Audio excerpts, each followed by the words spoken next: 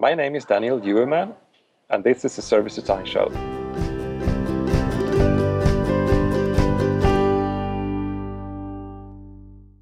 With the Service Design Show, we help you to stay one step ahead by talking to the people that are shaping the service design field. We talk about the current state of the industry, exciting new developments, and the challenges up ahead. My guest in this episode is Daniel Ewerman. Daniel is the founder and director of Transformator Design.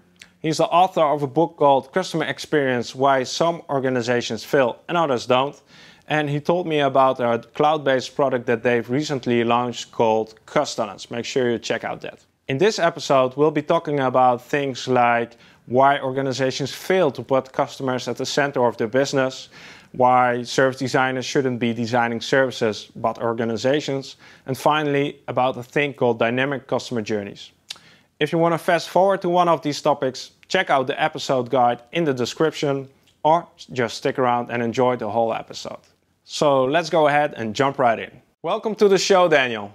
Thank you. Thank you, Marc. Uh, Daniel, let's uh, let's uh, kick off and ask me the ask the question that I'm asking everyone.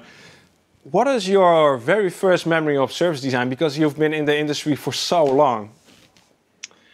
My very first memory was then when we worked with uh, Scania commercial vehicles. Um, you know those trucks trucks from Sweden. Um, we were traveling around Europe, interviewing a lot of haulage owners and, um, and drivers uh, when working with Scania's uh, product identity. And the, the customers started to talk about not owning a truck, but more using a truck. So the customers they, of Scania were asking that. Customers of yeah. Scania didn't talk about they they didn't really they didn't saw really the value in owning the truck. They more saw the value in using the truck. Mm. And when iterating this together with them in many of the European countries, um, it was quite clear that they wanted a service from Scania in which there was a truck and for us that was pretty new. This was uh, 99 and we started to try out our methods about design strategy on creating services uh, and started to create services there for for those uh, customers like uh, repair and maintenance agreements um, driver training uh, buyback agreements or uh, rent rent trucks for a short period or um, so that was my first. Uh, what was it called? Service design? Did you or did you have a different name for it back then uh, in '99? We called it more design of services. Design so it was service design, but just in a different order. We called it yeah. design services, and and the managers there at Scania. Um, actually, he the, the person that really realized how the the impact of this. I was pretty young younger than today at that time.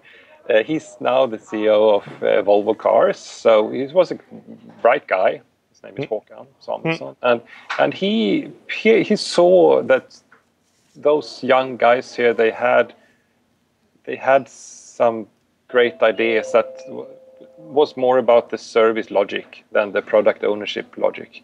Mm. Uh, but we didn't call it service design, but design for services. So, uh, of course, now every car manufacturer is moving into the mobility and service business, but we yeah. can say that Scania was way ahead of its time back then. Yeah, they were. Yeah, mm. they were way ahead of the time, and I think that the reason for that was that they they are a, a premium brand. Uh, they are more expensive, uh, maybe high quality, and, and more, which do that they have more demanding customers and the, the, the more demanding customers they they they run into this earlier yeah. than yeah. the competitors customers. They, they, are higher up in the value chain, yeah. I guess. Yeah. yeah. Well, 1999, interesting. So, um, Daniel, uh, let's explain to the people that are uh, watching the show for the very first time, especially to see you, how this uh, format works, right? Uh, we do it in co-creation, uh, the show, and I have a stack of cards with some topics written on, on it. Uh, these are here, and you also have a stack of papers, right? I Somewhere on your desk. Here, here they are. Yeah, well, exactly those kind of yeah. things. I'll uh, hold up a topic in a minute, and you'll hold up a question starter, what I call them, and we'll co-create a question from there on and talk about it for a few minutes. Perfect. Th that's it. Yeah. So, Daniel, let's start off with this one, and this topic is called customers at the center. Yep. What question goes along with this one? Then I show you this one. Why? And why, do we have a question? Why organizations fail to put the customer at the center of the business? So why do organizations fail? That's interesting. Why do they fail? Mm, there are some different reasons why they fail. Um, one is that they have a bad bad connection or maybe bad anchor uh, between customer empathy and the business. So they don't prove that empathy leads to better business. And with a bad connection, it's hard. It, it would be a nice to have. And uh, what is a good connection?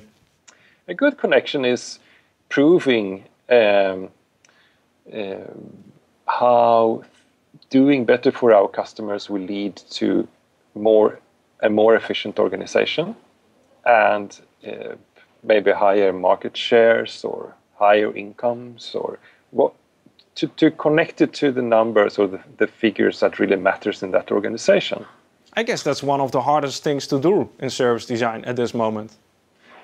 Yeah, that's hard, and I think it's very important to do it to show to, to show it, to have systems to do it, and um, to I, I think it's it's really worth the time and sometimes the fight to really get it through to mm. show this.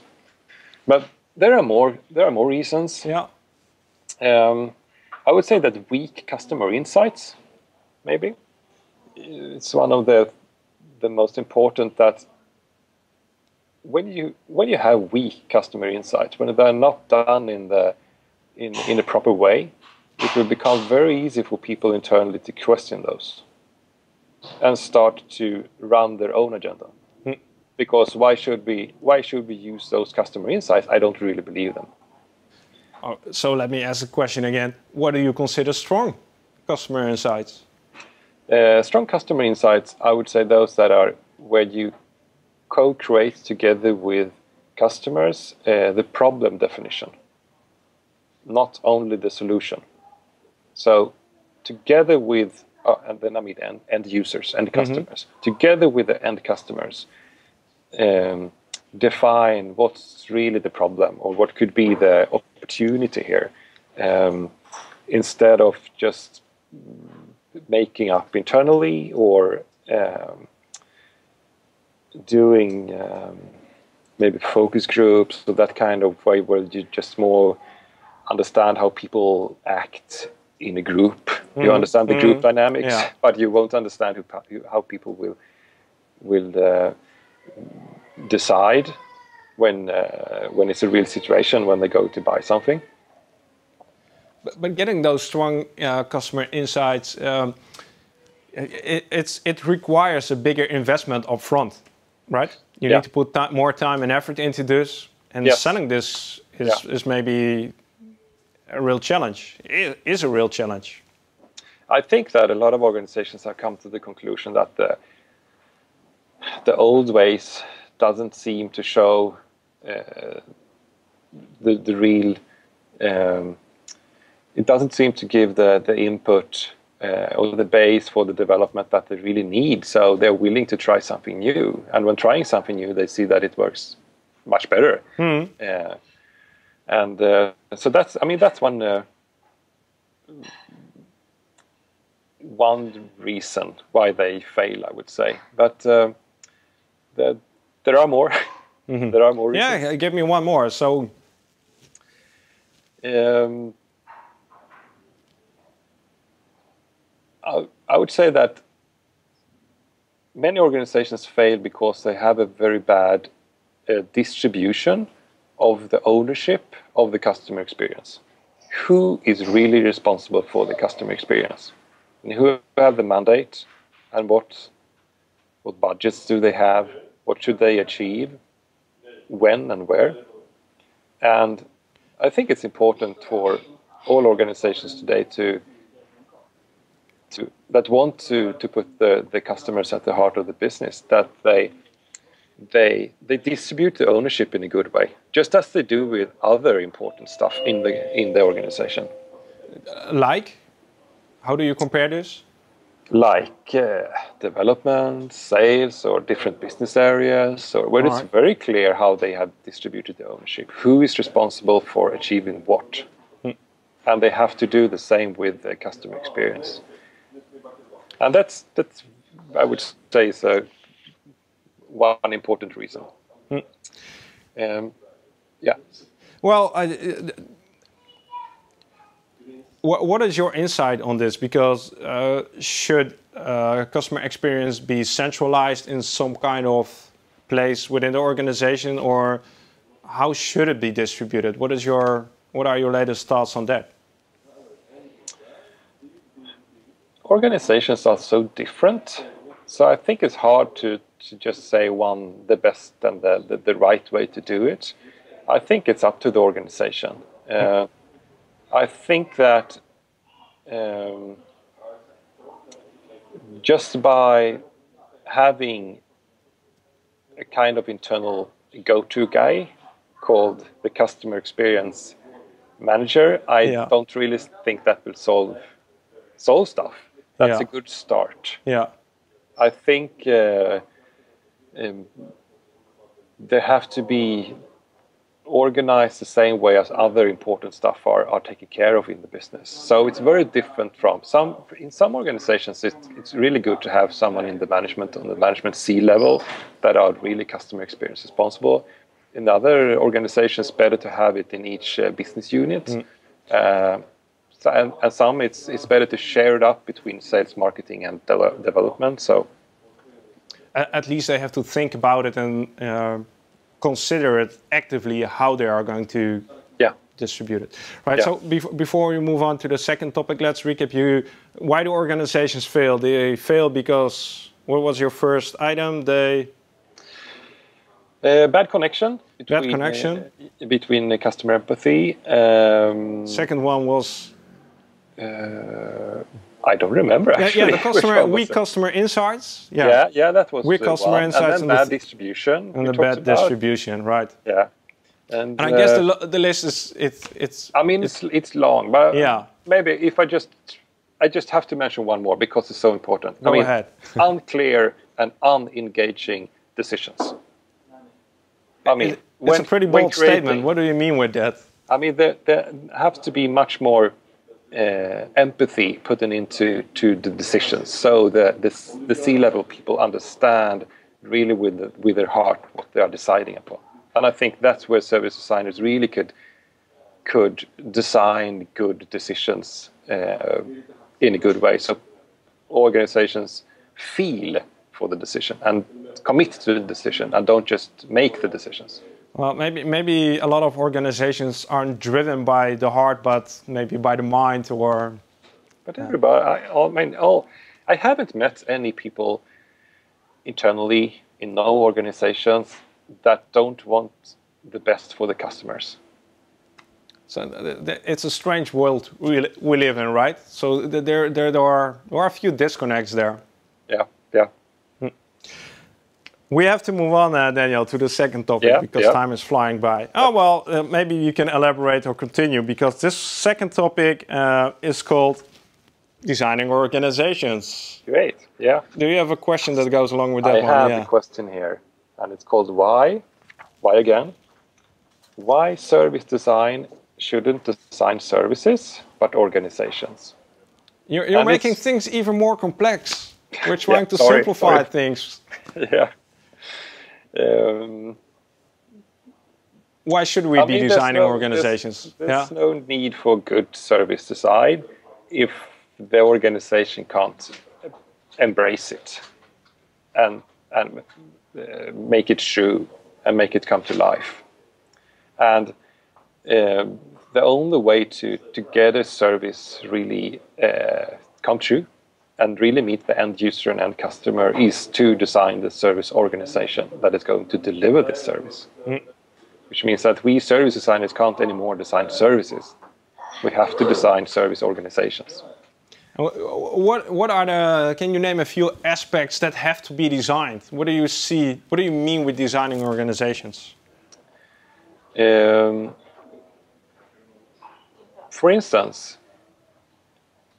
when starting to think about putting the customer at the center, a lot of organizations, well, a lot of people internally in, in large organizations, they they think, well, we don't have even time to do what we, we are doing today. Shall we now start to think about the customers as well? You're crazy.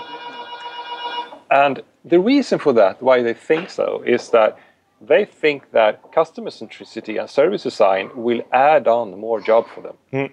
Mm. But it's just as important to understand what can we stop doing. We have to, we service design have to be much better in um, understanding uh, what organizations can stop doing today because there's no value for the customer right. at all in it. And that will free up a lot of resources to focus on what they should do. And that's a way to start to design the organization. What should we stop do? What should we start do? Um, another thing is that I think we service designers have to be much better in bridging the gap between development and administration. Because usually there's a lot of money in development. That's where service designers are. There's money there, we develop new stuff, and then at a certain time this service is, is, is ready to go on to the administration. And the administration, there is no money uh, there because we're just going to run the business and maybe do some continuous improvement and that kind of stuff. But I think we have to bridge the gap so, so, so help me out here. We, we, we've done our user research, we've done our co-creation sessions, we've come up with some great new service concepts. Maybe we've even prototyped one, of, one or two of these concepts. And then a lot of service design projects stop, right? Yeah. And you're yeah. saying that's the point where we should get better? That's the point where we should be much better in understanding how the organization work and how they can embrace this what's the best for this organization and we have to understand on what level can they start to realize uh, or make reality of those concepts that we have developed both in the development uh, internally but also in the administration to engage people in the in the administration hmm. uh, for instance setting i mean one one very very practical way is to set up um, we have called them greenhouses or uh, that kind of uh, internal uh, different uh, apartments, which in the day to day work test the new stuff in the reality. That's the All way right. to work with the organization, and then make that extremely transparent for other other people in the organization. And um, so, but I guess the, the, most challenging part in this is getting our organizations so far that they are willing to create the time and space and resources to set up these kind of greenhouses, right? Or is it pretty easy? They challenge the, they, they have, I mean, organizations that have experienced service design, which I, I would, would say that many have today, they have seen the challenge with implementation. Yeah so they know that they have to try out new ways to implement stuff. Where I think that maybe one of the main things here is to stop think of implementation.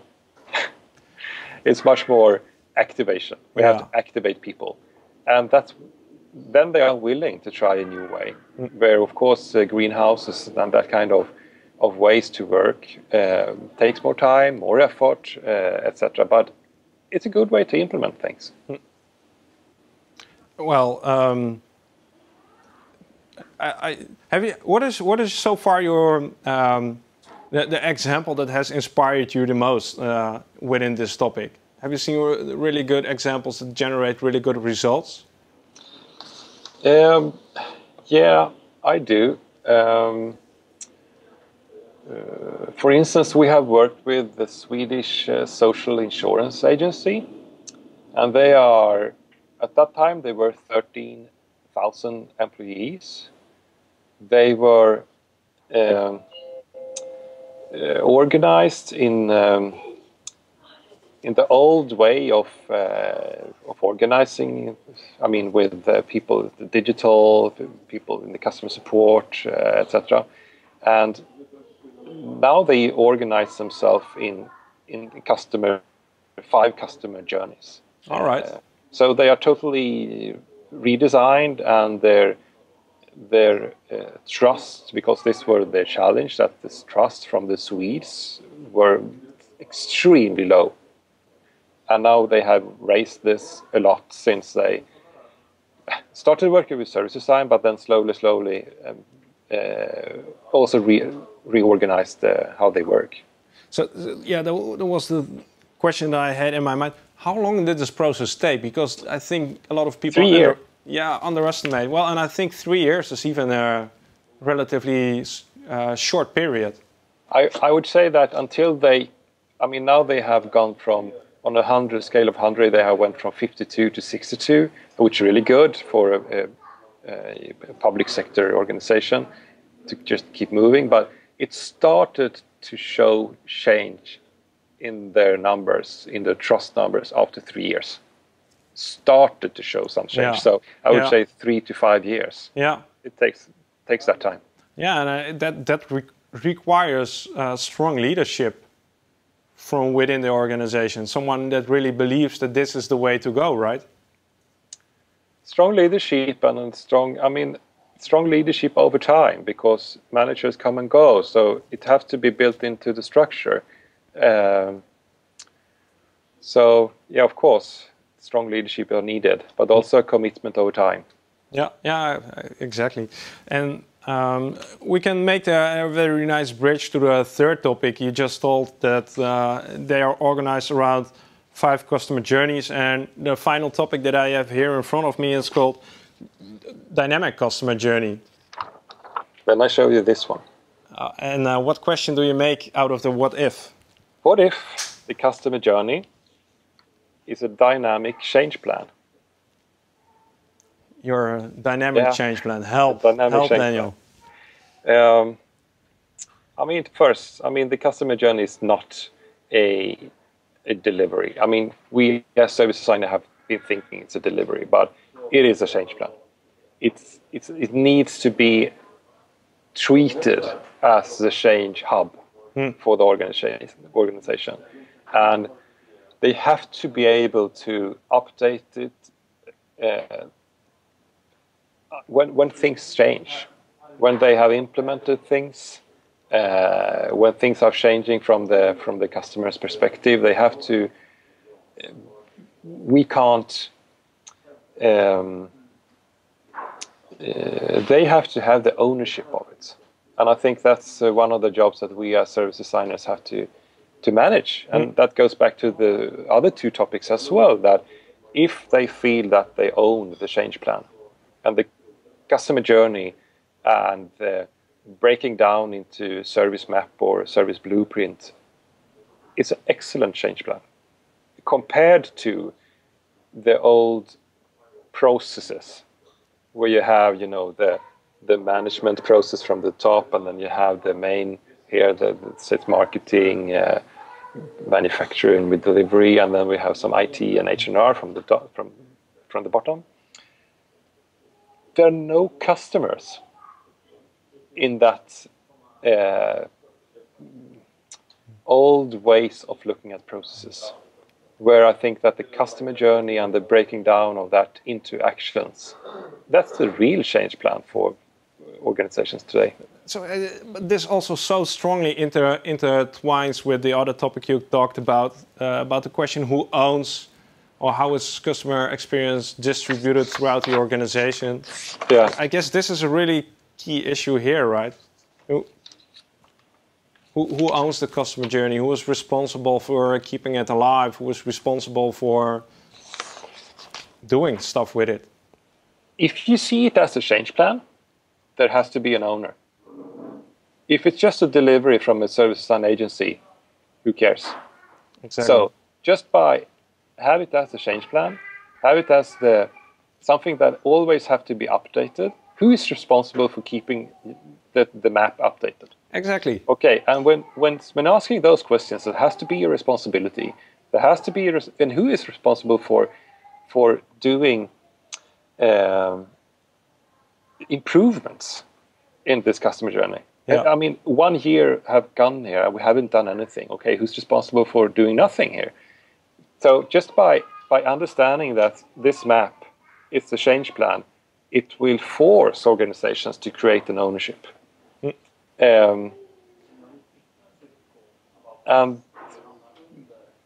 yeah, that that will really lead forward. I think. I, I, I guess I was just thinking about the uh, ways organizations do research traditionally and doing the marketing research. They those marketing research uh, reports are updated quite often. You know, maybe once Yeah, a year yeah. or maybe even more often.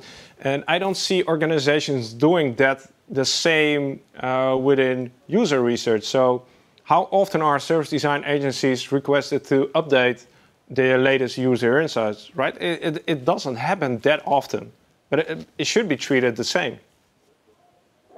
As in, the market is changing, uh, people I are changing. among among our clients now, there's a big. Um, a lot of them have come up very have come very far, and they are really knowing how to handle things.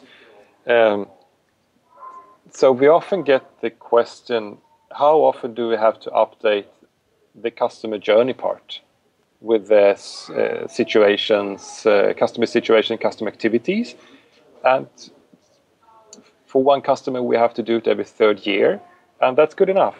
But when it comes to the touch point level, I mean, things happen. New devices show up. Uh, they reorganize. Uh, new IT. They implement a new IT stack, or whatever it could be. That level have to be updated on a more regular uh, basis, I would say. Uh, That's a great business model for service design agencies. I think we are going that way.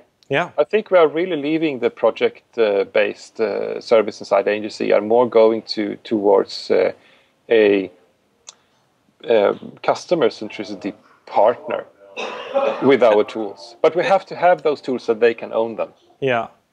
Uh, and, and, and the tools for us that help to keep that customer journey dynamic. Yeah, yeah.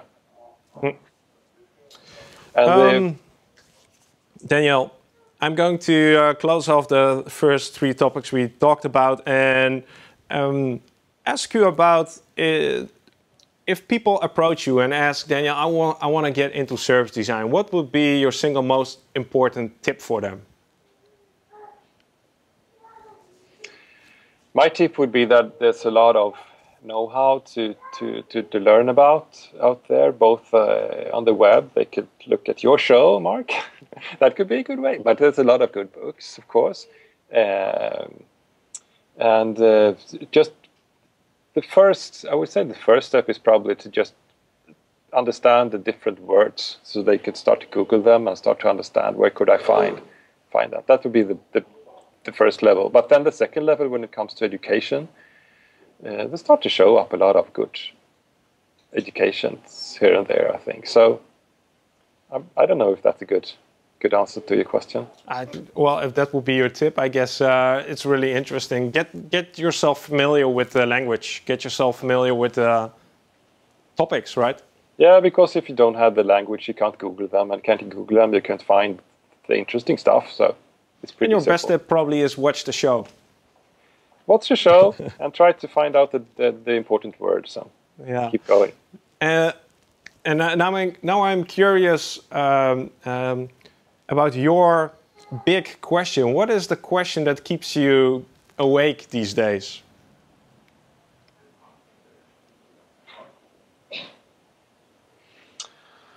The big question is how to uh, really create um, an ownership of the change plan, which we have talked about earlier, because um, I think that's the key. Uh, t- if they start to own, and I mean, if you see behind me the the the system that we have developed for keeping the the customer journeys and the the blueprints uh, to create the ownership for the organization to continuously improve those those it's it's in line with that. We have developed that to give them ownership. Uh, where I think that they are looking at consultants to both for consultancy in different projects, but more to to show a best practice. Mm. Then it's better for organizations to start to learn doing things themselves.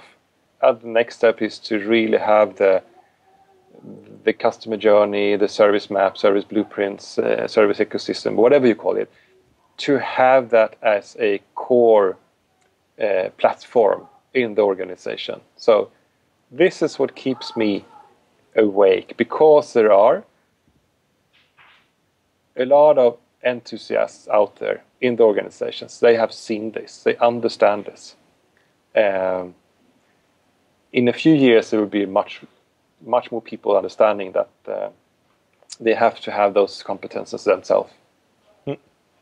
That keeps me awake. That keeps you awake. Interesting. Uh, maybe people have some insights on that and uh, share them in the comments, uh, I'd say. Yeah. Daniel, thanks uh, for your time. Um, uh, hopefully, we'll, we'll meet soon in a different location. thanks for your inspiration so far. Yeah, thank you. Thank you too, Marc, for having me. Thanks. So what are your thoughts about the topics we've just discussed with Daniel? How do you make sure customer journeys stay dynamic? Share your thoughts in the comments. If you enjoyed this episode and like to see more interviews with service design pioneers, be sure to subscribe to the channel and check out some of the past episodes. With the Service Design Show, we help you to stay one step ahead by talking to the people that are shaping the service design field. For now, thanks for watching and see you in the next episode.